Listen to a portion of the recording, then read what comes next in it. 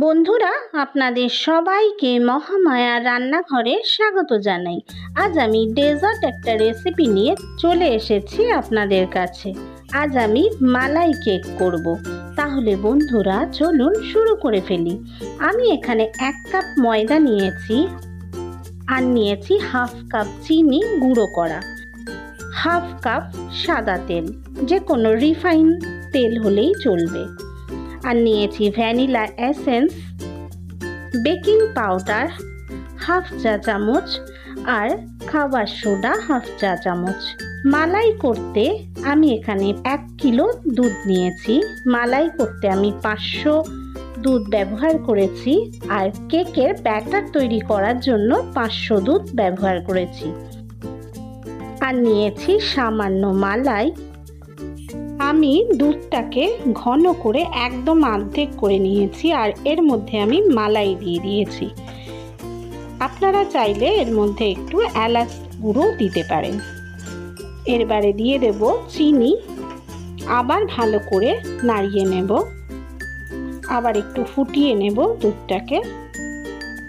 এবারে আমি ব্যাটারটাকে বানিয়ে নেব, চলুন। আমি ময়দায় দিয়ে দেব তেল। এবারে খুব ভালো করে মিশিয়ে নেব।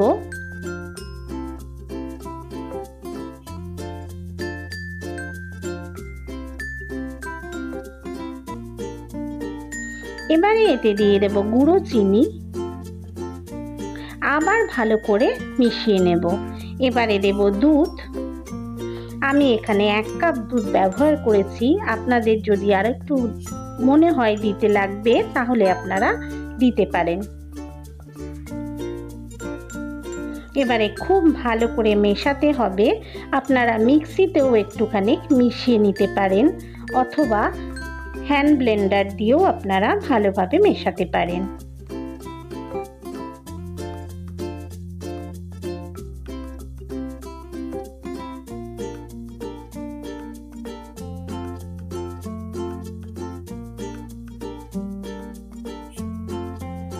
এবারে আমি এতে দিয়ে দেব বেকিং পাউডার। বেকিং সোডা আর ভ্যানিলা এসেন্স। এবারে খুব ভালো করে ফ্যাটাতে হবে। দেখুন, একদম ব্যাটারটা একদম স্মুথ হয়ে যাবে। বেশি পাতলা করব না, আবার খুব ঘনও হবে না। যত ফ্যাটানো যাবে, ততই কিন্তু কেকটা সফট হবে। আমি এখানে দুটো বাটি নিয়েছি, কারণ আমি আজকে দুভাবে দেখাবো। একটা আমি টিফিন বক্স নিয়েছি, আর একটা আমি অ্যালুমিনিয়ামের একটা বাটি নিয়েছি। দুটো বাটিতেই আমি বাটার ব্রাশ করে নেব।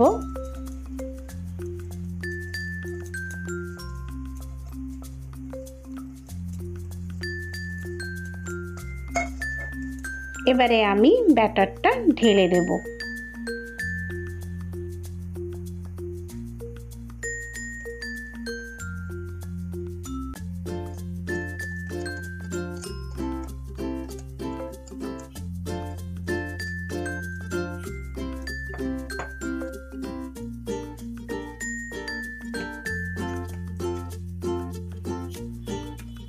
দেখুন, আমি মুখ বন্ধ করে দেব।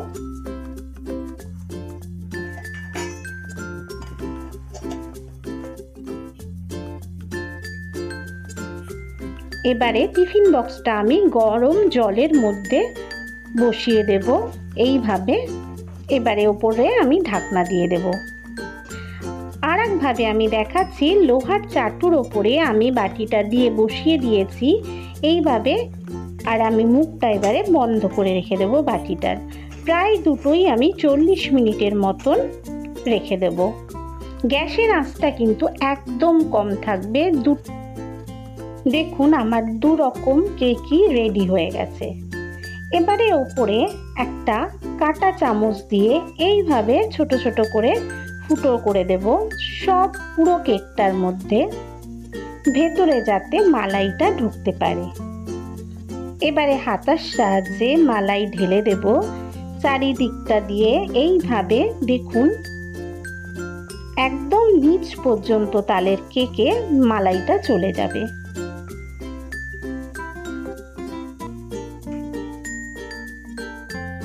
আমি দুটো কেকের ওপরই এভাবে করে নেব। যেটা আমি চাটুতে বসিয়েছিলাম, সেই কেকটাও দেখুন। এবারে ওপর দিয়ে এভাবে কাটা চামচ দিয়ে আমি ছোট ছোট ফুটো করে দিচ্ছি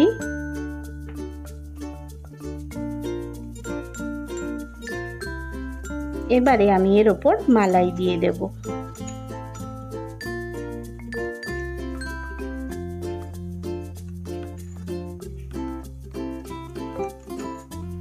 মালাই কেক বেশি কিন্তু ফোলানোর দরকার হয় না। তাহলে বেশি যদি ফুলে যায়, তাহলে কিন্তু মালাইটা ভেতরে ঢোকে না। সেই জন্য আমি কম কোয়ান্টিটিতে আর বেকিং পাউডারটা খুব অল্প দিয়ে আমি এভাবে কেকটাকে ফুলিয়েছি।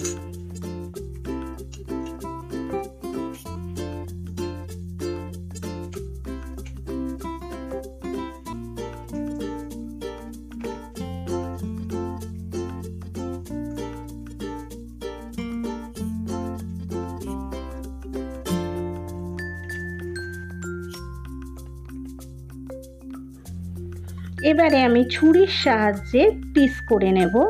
আপনারা যেভাবে পারেন পিস করতে পারেন। আমি একটা এভাবে কেটেছি আর একটা চারকোনাভাবে নিয়েছি।